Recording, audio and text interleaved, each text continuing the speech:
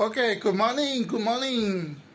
我是 Jerry, I'm Jerry. Okay, uh, my yes. Uh, today we want to touch on this very, uh, very, very serious problem. Okay, in any in any situation, if a lead, leader, uh, uh, a leader committed some some sin,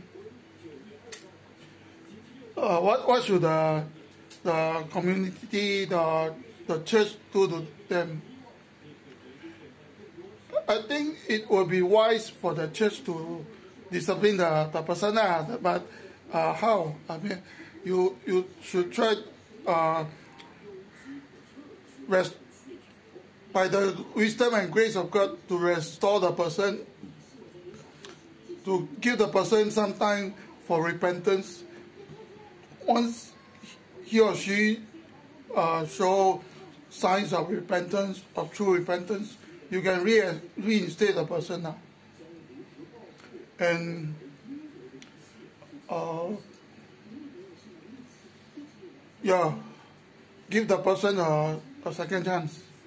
Don't uh, don't overly judge the person and go and criticize on the person because it's his or her personal life. So it is his or her life personally with God. So we, we don't point finger. So if you feel that you're so great, uh, what happened? You you are in the person's shoe. You already committed some sin, and you are in the leadership. I mean, what? How how how stressed will you feel, and how burdened will you feel when the public is? Uh, I mean, the yeah, they, they are going. They are sort of. Uh, if they are start abandoning you, start judging you, how, how would you feel? So the the lesson we can get is that even our daily life, our daily friendship, our if let's say our friend really did something wrong to us, we we can depend on the, the the level of the person be, betrayal or the sin or whatever. If too much, then maybe we, we totally cut away from the person. If the person uh, shows signs of repentance, we give the person second chance. Oh, okay, this thing called second chance is very important. You just give the person a second chance. Imagine if you yourself did something wrong to your friend, you also want your friend to like forget, uh, for, for forgive you and uh, be you, you two the two of you become friends again. Yeah.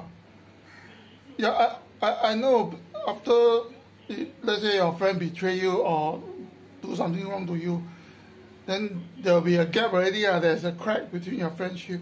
But uh, give the person a second chance to to cure, to to repair the gap. Uh. So if the person you give the person a second chance and the person still don't repent, don't uh, don't want to he, he or she still doing bad thing to you, then I think it's time to let go lah. So maybe second chance give one time lah. Because some people they uh, at the moment they I mean at the moment they they just because something something bad happened between you and him or her. After you I mean uh, uh, it also depends on how you want the friendship to go and uh, it take two hands to clap.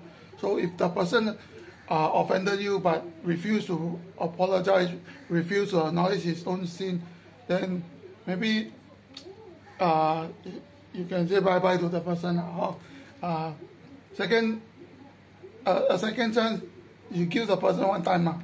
If after one time the person never never regret, never never say sorry, nothing ah. Uh, yeah, you can let go of the person already. Like, if not, you hurting yourself also pointless, right? Oh.